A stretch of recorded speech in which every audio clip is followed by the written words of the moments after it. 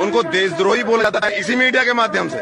इसी मीडिया के माध्यम से उनको नक्सली बोला जाता है। तो बड़ी ही, बहुत ही दुख होता है इस चीज़ को लेकर कि Zee News, R Bharat R Bharat R Bharat R Bharat R Bharat तो कल हमारे जो राष्ट्र नेता हैं टिकैत, उनको बुरा भला बोल रहा था। और मेरा बोलने का अधिकार है, मैडम, मेरा भी बोलने का अधिकार है।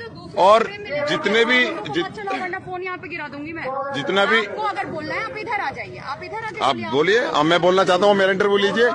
अब मैं दम है इंटरव्यू लेने का मेरा? ना क्यों चाहिए? मुझे मेरा लो ना मैं मेरा भी मेरा भी आपकी आप हमारे को क्या सोचते हो मैडम? आप हमारे को क्या सोचते हो? ये मेरा भी अधिकार है मैडम। आप हमारे बारे में किसानों के बारे में आप क्या दिखा रहे हैं? किसानों को आतंकवादी दिखाते हैं लोग। आप हमारे किसानों को आतंकवादी दिखाते हो आप लोग? हमारे किसानों को आतंकवादी कहते हो नक्सली कहते हो? लेकिन सुन लो चिल्लाओ। चिल्लाएँगे मैडम आप भी चिल्ला चिल्ला कर बोलते हो।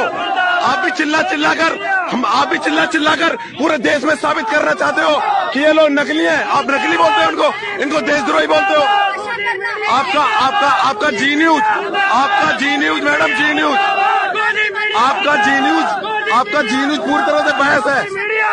मोदी मीडिया मुर्दाबाद। दोस्तों मैं उधम सिंह गोदी मीडिया मुर्दाबाद गोदी मीडिया मुर्दाबाद गोदी मीडिया मुर्दाबाद गोदी जी न्यूज़ वापस जाओ जी न्यूज़ वापस जाओ जी न्यूज़ वापस जाओ जी न्यूज़ वापस जाओ जी न्यूज़ वापस जाओ जी न्यूज़ वापस जाओ जी न्यूज़ वापस जाओ जी न्यूज़ वापस जाओ जी न्यूज़ वापस जाओ जी न्यूज़ वापस जाओ जी न्यूज़ वापस जाओ जी न्यूज़ वापस जाओ आप किसानों को आतंकवादी कहते हो किसानों को आतंकवादी कहते हो आप किसानों को आतंकवादी कहते हो नक्सली कहते हो आप लोग? मोदी जी का खरीदा हुआ है आराम से आराम से आराम से दोस्तों ये जी न्यूज़ चैनल है। पूरी तरह से खबरों को इम्प्लीमेंट करता है। और ये जी न्यूज़ चैनल इस तरह से मोदी के हाथों बिका हुआ चैनल है ये।